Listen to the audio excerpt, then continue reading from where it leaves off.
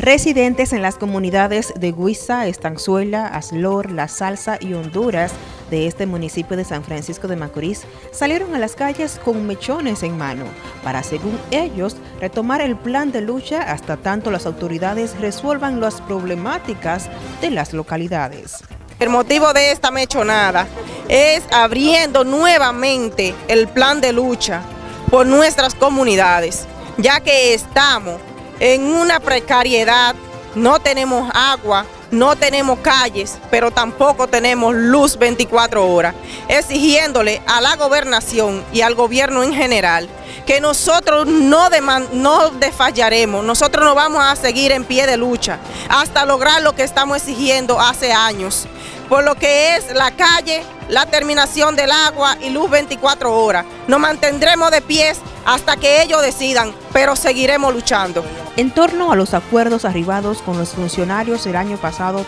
por el cual no se llevó a cabo un movimiento huelgario convocado por los residentes en esta zona, la dirigente comunitaria dijo que las promesas de las autoridades fueron falsas. El acuerdo que ellos llegaron con nosotros fue simplemente una falsedad para detener la huelga, pero ya nosotros no, no, no nos detendrá nada solo nos detendrán los aparatos trabajando en nuestras calles y terminando con el acueducto y poniendo la luz 24 horas.